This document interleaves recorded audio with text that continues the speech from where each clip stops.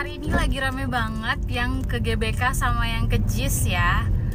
Terus yang ke JIS bilang mengklaim kalau yang ke GBK itu uh, dibayar bayaran. Dibayar 45.000 plus dapat makan. Kalau yang ke JIS datangnya dari hati. Tahu nggak? Adek gua no masih hidup orangnya. Disuruh ke JIS dapat 150.000 gue dapat 150 ribu dah untuk ikut ke JIS. Terus mungkin kalau misalkan gue ngomong kayak gini mungkin pendukungnya akan bilang mana buktinya? Mana buktinya? Baru pertama kali nyoblos ya. Yang kayak gitu-gitu tuh nggak akan ada buktinya lagi. Yang nawarin sama yang nerima tuh nggak akan ada buktinya gitu. Mereka tuh tahu caranya supaya nggak ada jejaknya gitu.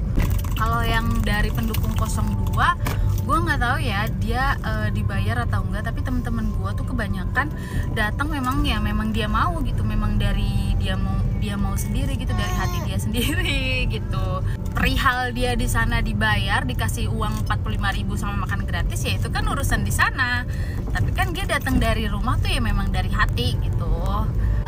Ketika gue berada di lingkungan yang mayoritas itu pendukungnya adalah 01 gue lebih milih diem.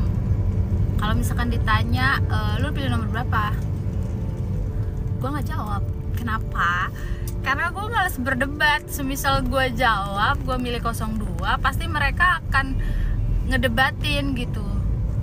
Kenapa lu milih dia? Dia kan begini dia kan begitu dia kan begini dia kan begitu. Jadi gue males berdebat deh. Padahal kan setiap orang punya keyakinannya masing-masing ya. Kalau lo yakin sama uh, pilihan lo ya gue juga yakin sama pilihan gue gitu. Kalau setiap orang tuh kan punya sudut pandangnya masing-masing. Jadi menurut gue ya ya udah gue males berdebat akan hal itu aja gitu